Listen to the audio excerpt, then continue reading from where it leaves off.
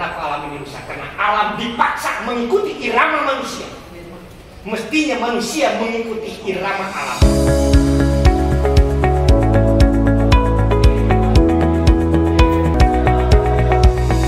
Dinas Kehutanan Provinsi Jawa Barat menggelar kegiatan Fokus Group Discussion FGD Pengelolaan Daerah Aliran Sungai DAS tingkat tapak Forum Koordinasi Pengelolaan DAS FKP DAS Jabar pada Kamis 10 Agustus 2023. Kegiatan tersebut dalam rangka penyelenggaraan kegiatan pengembangan kelembagaan pengelolaan DAS tahun anggaran 2023. Kegiatan FGD ini dilaksanakan serentak di dua wilayah, yakni di cabang Dinas Kehutanan wilayah 1 dan cabang Dinas Kehutanan wilayah 6.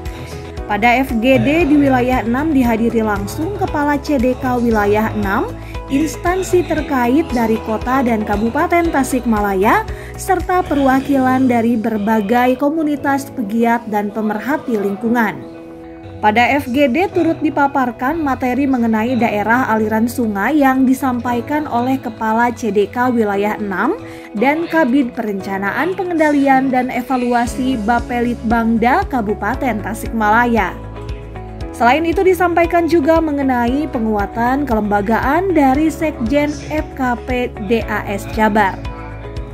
Hasil dari FGD tersebut disepakati beberapa poin, salah satunya adalah perlu internalisasi rencana pengelolaan DAS terpadu dan rencana umum rehabilitasi hutan dan lahan DAS pada rencana tata ruang dan wilayah.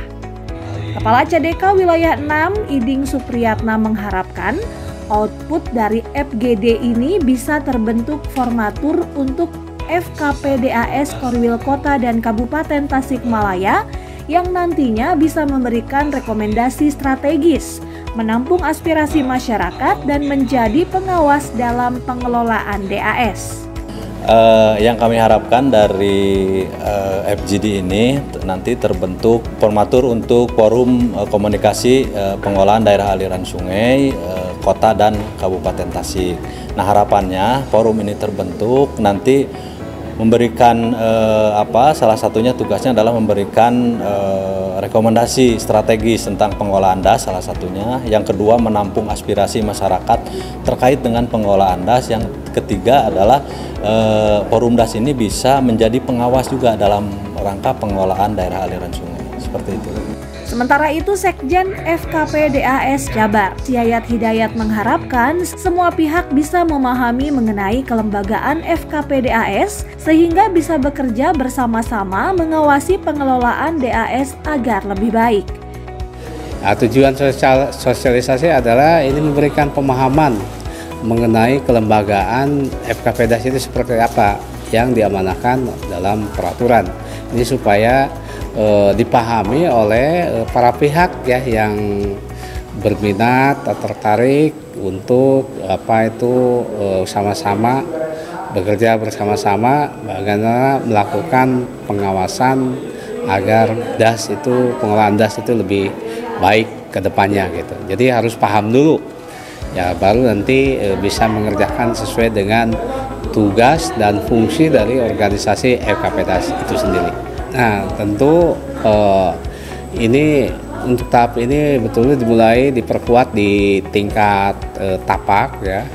Yang menjadi koordinator tapak adalah CDK.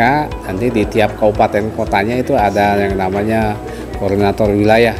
Tentu dengan ini didorong itu lebih bisa berperan lebih aktif lagi di tingkat tapak ini teman-teman ini gitu untuk mengawasi uh, juga mengkaji persoalan-persoalan pengolahan das di wilayah Kabupaten uh, Tasik dan Kota Tasik ya dan seterusnya diberikan masukan kepada instansi yang memiliki tupoksi melakukan pengolahan das antara lain adalah Dinas Kehutanan Provinsi nantinya yang masukannya. Dari Tasikmalaya, Jawa Barat, Tim Liputan Tasik TV mengabarkan.